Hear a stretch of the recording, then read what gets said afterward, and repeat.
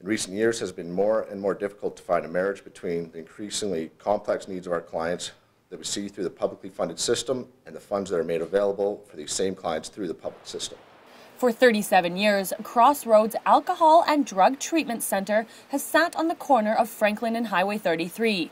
Now, after years of funding challenges, a loss of a gaming grant, and the recent breakdown of negotiations with the main funding partner, Interior Health, the center is closing its doors.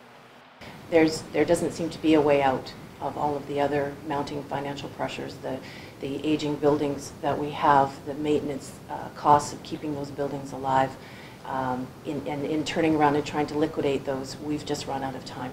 The closure means the loss of 38 publicly funded beds, which are 90% of the time occupied. It means shutting down and selling all three buildings and laying off almost 70 employees.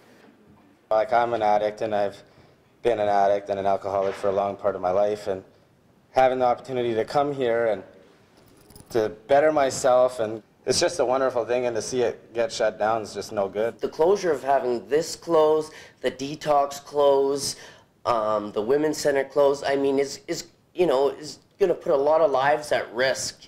The center, which has an annual budget of $3.5 million, is the only one of its kind in the Okanagan and is facing a debt of 1.3 million. And, and the reality is, is that the climate has been changing for, for years within the province of BC when it comes to residential treatment itself. So, you know, over the years we've seen other not-for-profits that have attempted to operate uh, such an intensive program as ours that have fallen the same uh, as us. Current clients will be afforded the opportunity to complete their programs, and the treatment center will wind down operations over the next 90 days. Jen Zielinski in Kelowna for Castanet News.